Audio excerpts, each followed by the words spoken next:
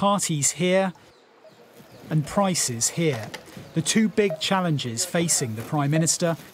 For now, clarity on both issues in short supply. This cabinet minister unable to say who organised a meeting between Boris Johnson and Sue Gray, the senior civil servant investigating lockdown breaches. Sue Gray's first report didn't pull its punches. But who called the right? meeting? You know that the prime minister would never intervene in such an uh, investigation, has not intervened, has allowed it to happen. Sue Gray's. You, you can't question Sue Gray's integrity because I've worked I'm with Sue absolutely Gray, not questioning right? her integrity. And, I'm and asking a very, very you simple, will, you will, factual you, question. as I will. I, I, one, I don't know. Two, I don't know what's in the report.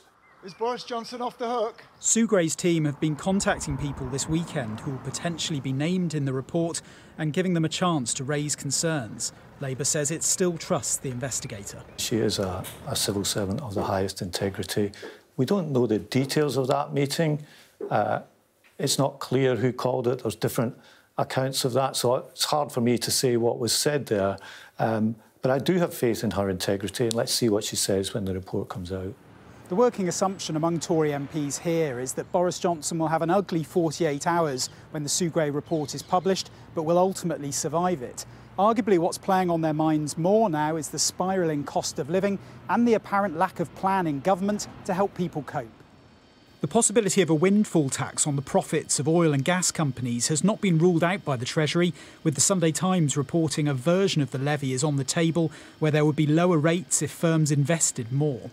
Energy bosses say recent price rises are unprecedented. We are seeing a significant number of people in fuel poverty. That's to say, more than 10% of their disposable income spent on energy, and that's risen to around 20%. And in October, our model suggests that that could rise to 40% if the government doesn't intervene in some way. So, where are the Cabinet on the idea? The Chancellor hasn't ruled it out, saying he's not naturally attracted to it, but is pragmatic.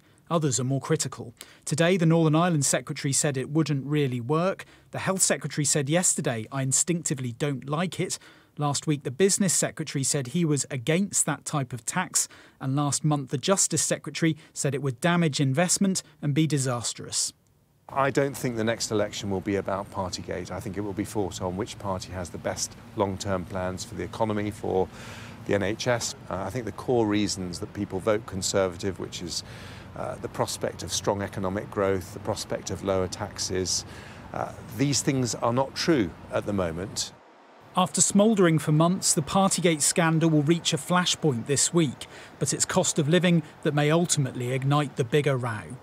Rob Powell, Sky News in Westminster.